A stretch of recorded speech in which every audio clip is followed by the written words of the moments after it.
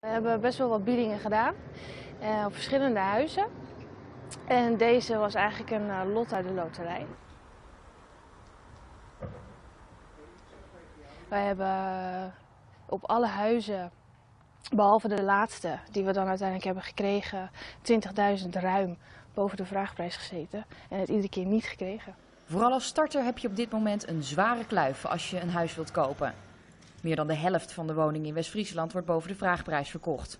En voor een gewoon rijtjeshuis in Horen liggen die bedragen nog eens veel hoger. De prijzen stijgen hier eh, harder dan in de rest van, eh, van Nederland. Eh, je ziet appartementen die met 22% stijgen, prijzen in het algemeen met 14%, terwijl dat landelijk lager ligt. Je hebt maar heel weinig aanbod, eh, bijvoorbeeld bij eh, tussenwoningen als je die zoekt. Eigenlijk wilden we echt alleen maar in de kersenbogen, dus echt deze regio.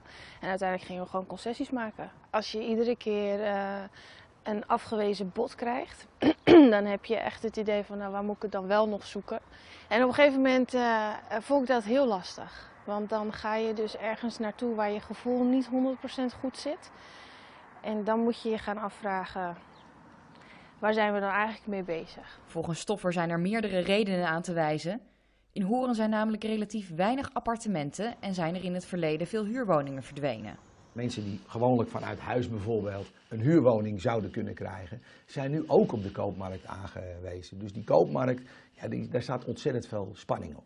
En het gaat zelfs zo ver dat op dit moment er banken zijn die geen taxatierapport meer eh, eh, nodig hebben voor de verstrekking van een financiering, maar dat gewoon met een eh, modelmatig rapportje doen.